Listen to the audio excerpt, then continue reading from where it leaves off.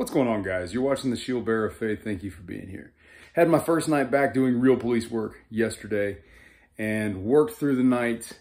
It was gross. It was rainy. It was a good evening. Um, was a pretty good day to re-enter the the field because it wasn't so slam busy with calls that I couldn't, you know, think. I had time to ask questions. I was riding with another officer for a while. Probably do that the next two days so that I can um, have time to ask appropriate questions about some changes to either policy or paperwork, whatever. But it was brought up a couple different times now. I've had a few people um, bring up the question of why I went back into police work. So we're going to take just a few minutes and we're going to chat some about that. I genuinely never thought I would return to this field. When I left it, I was really, really ready to leave it. And for the last three years, I've thoroughly enjoyed not doing police work.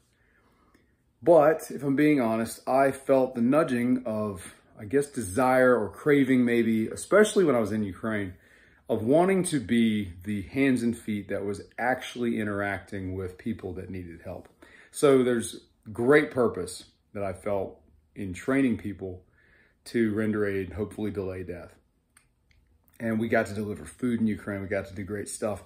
I've gotten to be the hands and feet in other categories the last few years too. You know, I've, I've gotten to go to various locations for disaster relief. I was in Kentucky for about two weeks. One of those was a, a week with my family. We did a lot of um, debris cleanup after the tornadoes ripped through Kentucky a couple years ago. And then I, I got to go to Florida after, what was it, Ian hit. We were there a few days. Um, got to go to Idabel, Texas. I've been all over the place. I've gotten to participate with a lot of baptisms, a lot of really cool stories with people, a lot of cool moments with people. But it does eventually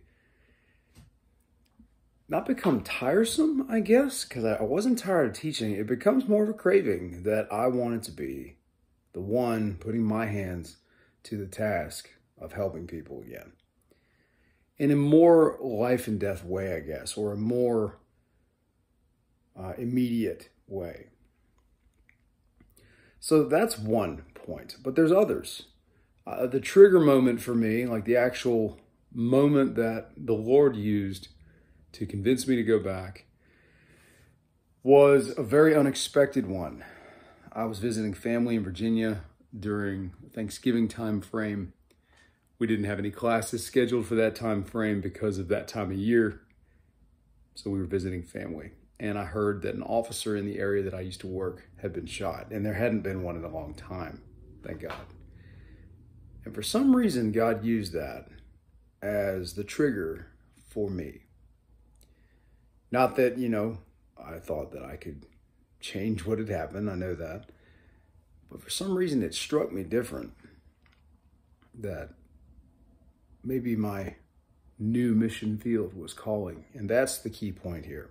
That's actually the the answer of what I've been feeling for a bunch of months, maybe even a year off and on. It's just a changing of mission field. That's actually what it is. It's not that I inherently had to go become a cop again. It's not really that. It's I was being told one mission field had closed and another one was opening. And by the way, we still intend to teach classes. I have one in Indiana coming up. And I'm looking forward to that. But everything has a season the season of me training people as my full-time profession, it slowed down to a point where my wife and I started praying, God, if you're shutting this door or kind of starting to close it a little bit, maybe you're leaving it cracked open. Well, what do you want me to do instead? We started praying that. And it became apparent that I was being told to come back to this. And I think it's funny because I use the words, I would never, like I would never go back to police work some years ago.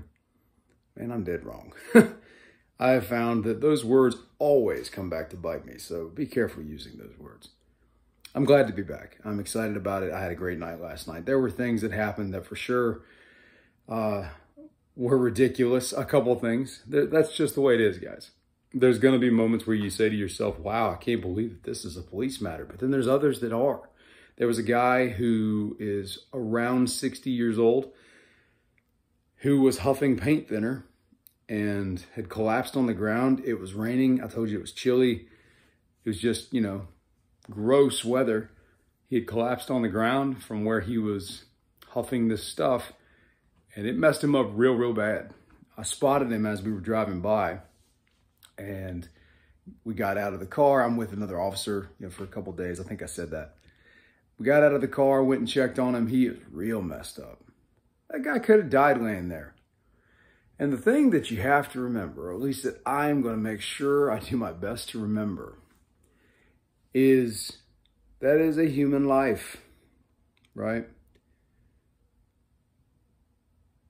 We get very jaded about drugs or alcohol and what it does to people, and we can forget that those are still human beings, that Christ died for them also.